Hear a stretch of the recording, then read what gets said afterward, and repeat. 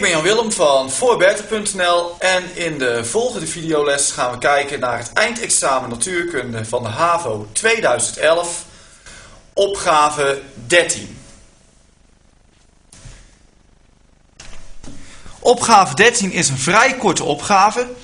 Er staat namelijk leg uit waarom deze microbatterij niet vaak vervangen hoeft te worden. Baseer je uitleg op een gegeven uit BINAS. Nu is deze batterij een nucleaire microbatterij. Oftewel, hij werkt op een radioactieve stof. Dus de eerste stap wat je zou kunnen doen is in je BINAS kijken.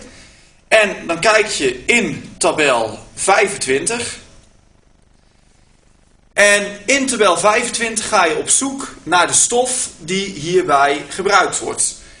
En dat was nikkel. Dus dan blader je totdat je nikkel ziet staan. Het was nikkel 63. En nikkel 63 heeft volgens BINAS een halfwaardetijd van 85 jaar. Daar heb je ook meteen het antwoord, namelijk deze batterij zal na 85 jaar nog de helft van de sterkte hebben, de helft van het vermogen hebben die de batterij op dit moment zal hebben. Nu ken ik heel weinig apparaten die 85 jaar meegaan. Nu ken ik sowieso al vrij weinig apparaten de laatste tijd die worden uitgebracht die überhaupt de 2 of de 3 jaar halen.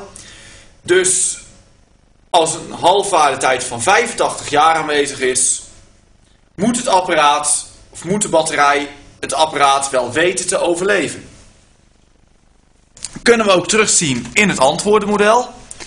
Namelijk in het antwoordenmodel staat de halveringstijd van nikkel 63 is 85 jaar. Punt. Dat is dus al meer dan genoeg antwoord voor opgave 13. Uh, 13 was een uh, één puntsvraag, daarom dus ook uh, dit heel korte filmpje. Uh, ik ben Jan Willem van voorbeter.nl en ik hoop dat je iets aan deze uitleg gehad hebt. Bedankt voor het kijken.